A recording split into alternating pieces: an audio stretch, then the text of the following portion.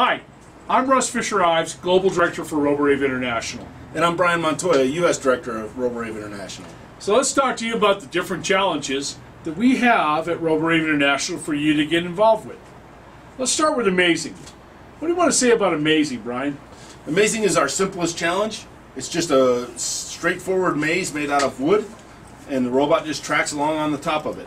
So the students have to program for it to go down to a certain distance, stop, churn, and go, stop, churn, and go, right? Absolutely. And the only sensors that they're allowed to use are encoders on the wheels. No external sensors. Yeah, wait, wait, wait, that. time out, time out. Encoders on the wheels. That's right. What are you talking about? Encoders that count the number of revolutions for the wheels. That's it.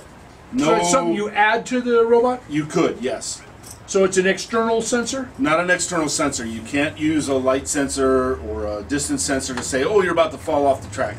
Not You're telling me what I really have to do is know how to program for for rotations, for speed, for power, to really control those motors. That's right, Russ. And that's it. That's it. And I have to go from start to finish, and it changes for elementary, middle school, high school? That's right. The changes, the maze is longer for each division. Got it.